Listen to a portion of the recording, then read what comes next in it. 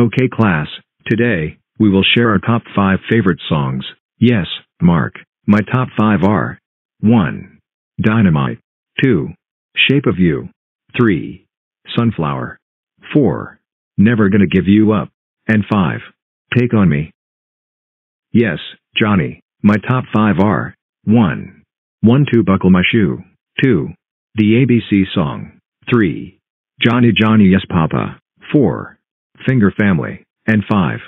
Baby Shark. These are all nursery rhymes. Go to the principal's office right now. Wah wah wah wah wah wah. At the principal's office. Johnny, what brings you here, and why are you crying? My top five favorite songs were nursery rhymes. Oh oh oh oh oh oh oh oh oh oh. oh. Johnny, how dare you make nursery rhymes your top five favorite songs? You know, nursery rhymes are for babies, and you are not a baby. That's it. I'm holding you back to daycare. Go back to daycare.